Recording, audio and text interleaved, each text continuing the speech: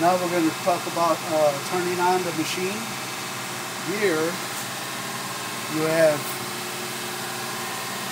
a series of three buttons. You got a, a start, jog, then you got the front and rear and your emergency stop button. The front and rear, this side of the machine is called the rear side of the machine, which is where the side where the tapping unit is at. So that's uh, that's your rear uh, rear side of the machine. The front side of the machine is the other side of the machine where you're cut off tool latch. And uh, then you got your uh, start and jog button. And uh, on this particular machine, you need to have, if you're gonna start your machine and get it to go automatic, you'll put it on start and then you come down here and pull this lever is what engages your feed and then it'll go so if you want to just jog it in what you would have to do is put both sides to jog. This side of the machine the rear side of the machine and the front side of the machine to jog. So now I'm going to put it on the start and we're going to go to the front side of the machine. So I'm going to put it to the front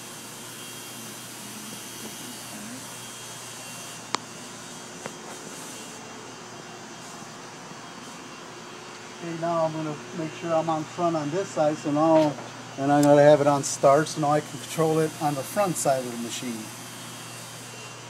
So basically, when you want to go ahead and run your machine, we're going to go ahead, your coolant pump's going to come on, your coolant is going to come on when your, your, motor's, your, motor, your motor is rotating, everything's turning on your machine, so you're automatically your coolant's going to feed out. So we'll go ahead and turn the machine on.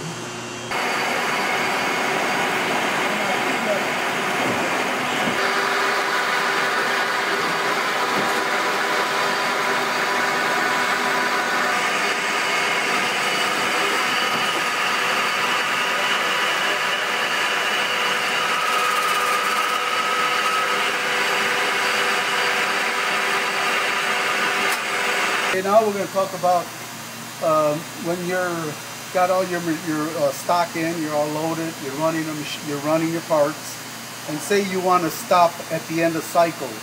What the end of cycle means is that you'll do a full cycle and it'll stop the machine and what you call it open.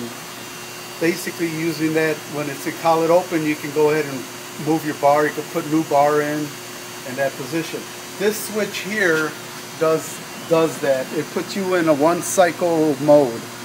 So what happens is you go ahead and turn your machine on, put it in gear, you flick, you flip your switch over, and then what's going to happen, it's going to go in, do your part, all your, your slide, your N2 slide is going to come back and stop with everything back out the way. So that's just like a one cycle if you want to just do one part, let it all come back and stop on its own automatically that's what you'll just flip this switch over. It'll go to the end of cycle and it'll stop right in this position. This means uh, end of cycle bar um, collet open. And this is your zero degrees. This is when actually it starts to cut.